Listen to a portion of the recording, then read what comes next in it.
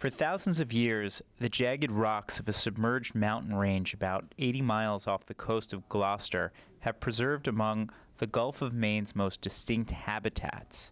Its frigid waters home to a large billowy kelp forest, glacier sculpted peaks that near the surface, and an abundant array of life. The uneven bottom and swirling currents that course through Cashes Ledge have long made trawling in the area a challenge but for many years, fishermen have combed the muddy basins on the periphery and brought home massive hauls of cod, pollock, and other ground fish. Twelve years ago, in an effort to bolster declining fish stocks throughout the region, regulators cordoned off 550 square miles around Cashes Ledge, prohibiting trawling in the area.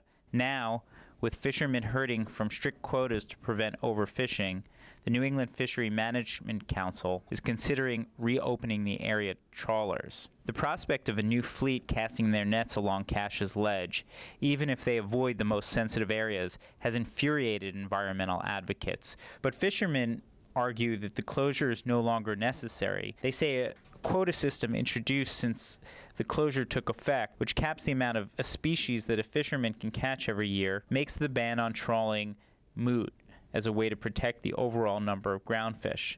They also argue that by allowing their boats in an area that has traditionally had ample amounts of cod and pollock, they would spend less time raking the seabed with their dredges and nets. Speeding up their catch would also mean burning less fuel and improving their bottom line.